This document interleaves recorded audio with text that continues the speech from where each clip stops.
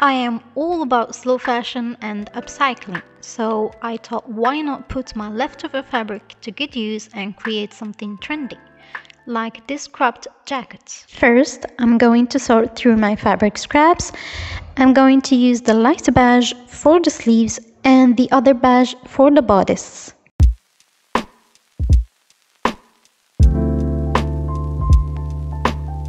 I got to sort out six pieces the back, the two front pieces, the collar, and interfacing pieces.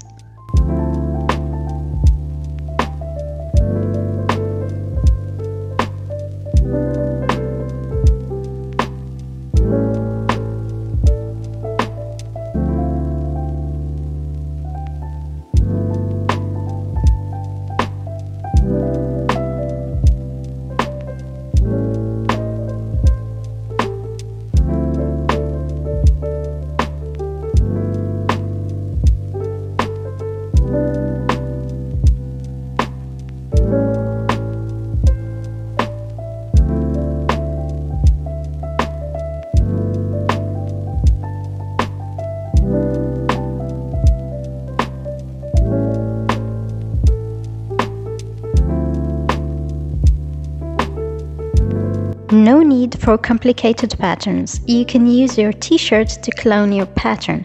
And if you're wondering how to clone your own clothes and get your patterns at home, let me know in the comments. I may make a tutorial for you.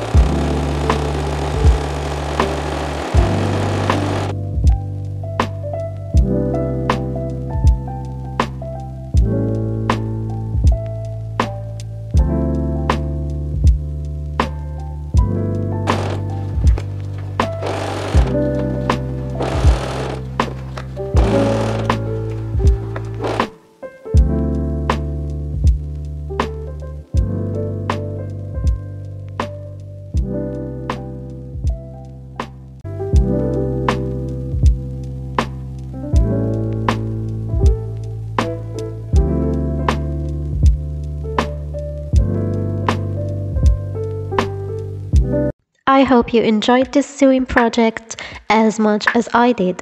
It's a fantastic way to be sustainable, creative and stylish all at once. And if you give it a try, be sure to share your results with me.